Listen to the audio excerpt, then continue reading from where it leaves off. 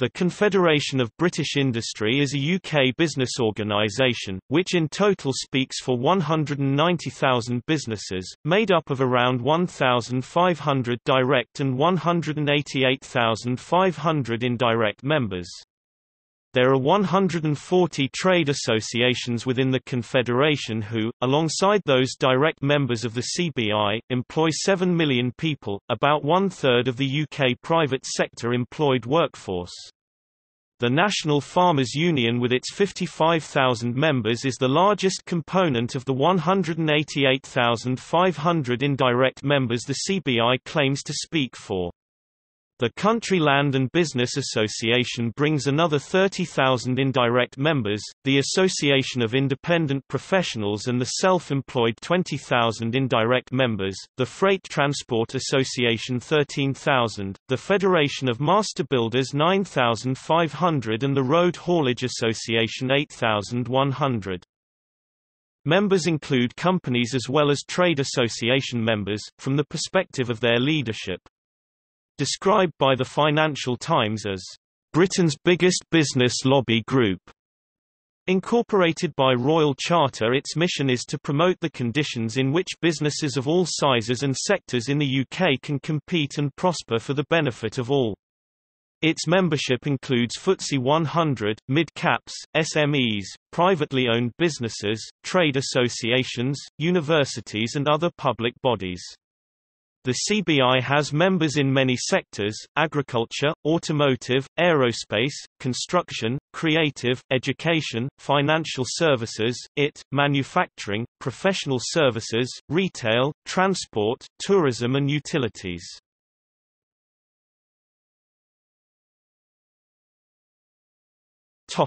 Role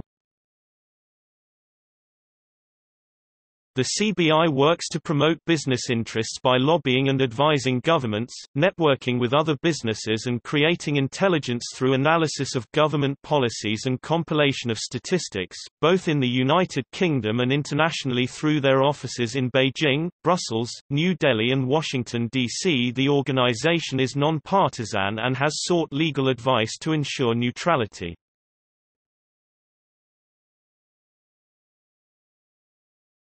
Topic: Structure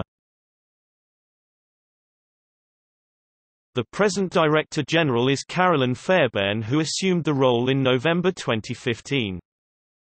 The CBI is governed by its Royal Charter and by the CBI Council, which is able to delegate many of its roles to the Chairman's Committee and Board.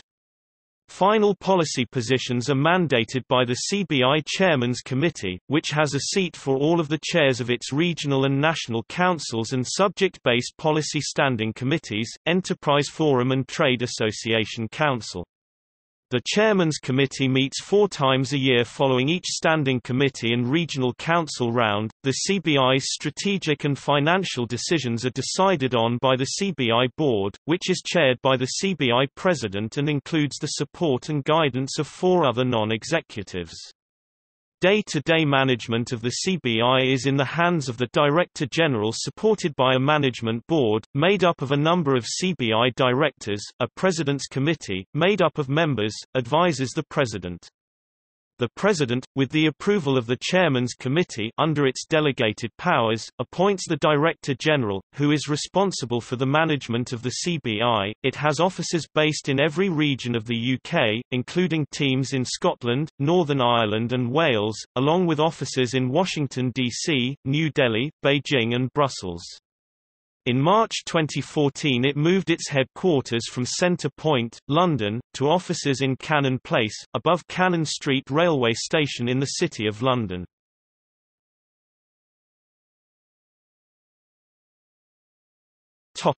History The organization was formed in 1965 out of a merger of the Federation of British Industries known as FBI, the British Employers Confederation and the National Association of British Manufacturers.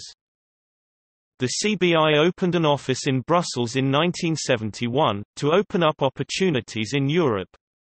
International offices have opened in Washington 2002, Beijing 2005, and New Delhi 2011.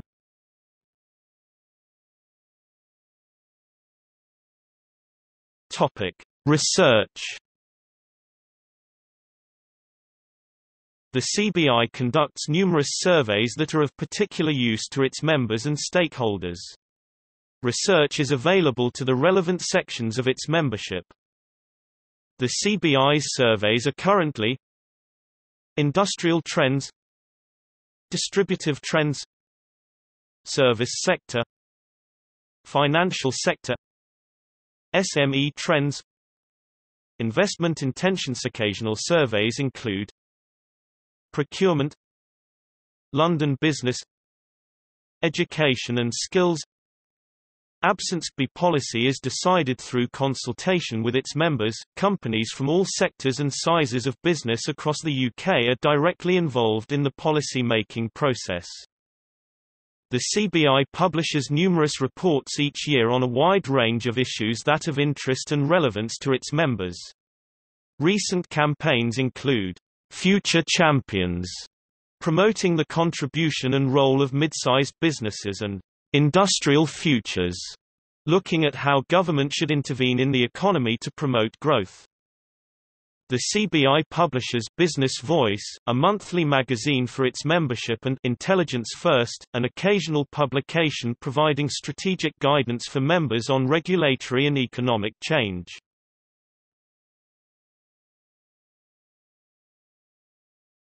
Topic: The Great Business Debate In September 2014, the CBI started the Great Business Debate campaign aimed at increasing public confidence in business. Survey data found that only around 50% of people in the UK think that business contributes positively to society and the campaign was initiated to play a part in increasing that figure. A website and social media channels have been set up to openly promote the contribution business makes whilst enabling people and organizations to give their opinions on this. It is planned that various events and other occurrences will take place across the UK as part of the campaign.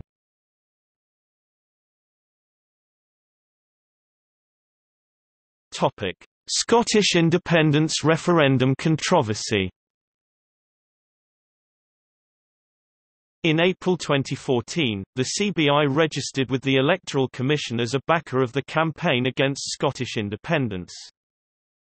As a result, 15 Scottish members Scottish Enterprise, Visit Scotland, Highlands and Islands Enterprise, Skills Development Scotland, the Scottish Qualifications Authority, STV, the Law Society of Scotland, Aquamarine Power, Balhousie Care Group and the Universities of Aberdeen, Edinburgh, Glasgow, Strathclyde, Heriot Watt and Glasgow Caledonian resigned from the organisation, while two others, Robert Gordon University and Dundee University, suspended their membership. The BBC announced on 24 April that it would also suspend its membership from 30 May until after the referendum on 18 September. On 25 April, the CBI announced it would try to nullify its registration. An Electoral Commission spokesman said, We have received representations from the CBI to deregister. We are currently considering whether this is possible under the relevant legislation and will make our reasoning public when we have reached a conclusion and informed the CBI of our decision. However, the chairman of Business for Scotland disputed this would be possible.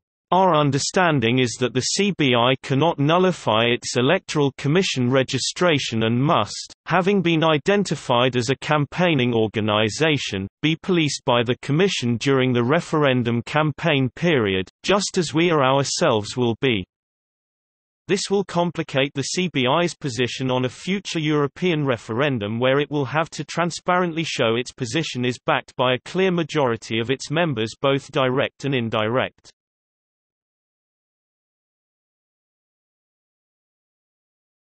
Topic: Organization.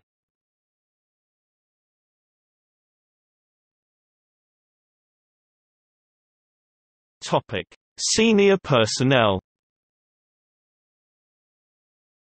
John Allan CBE, President Paul Drexler CBE, Vice President Carolyn Fairbairn, Director General, correct as of June 2018 Topic: Directors General since 1965. John Davies, the 30th of July 1965 to the 15th of October 1969. Sir Campbell Adamson, the 15th of October 1969 to the 2nd of July 1976. Sir John Methven, the 2nd of July 1976 to the 23rd of April 1980, died in office. Sir Terence Beckett, the 1st of October 1980 to the 26th of March 1987. Sir John Banham, the 26th of March 1987 to the 26th of June 1992. Sir Howard Davies, the 29th of June 1992 to the 31st of December 1995. Adair Turner, the 1st of January 1995 to the 31st of December 2000. Sir Digby Jones, the 1st of January 2001 to the 30th of June 2006. Sir Richard Lambert, the 1st of July 2006 to the 30th of January 2011. John Cridland, the 31st of January 2011 to October 2015. Carolyn Fairbairn from November 2015. Topic. See also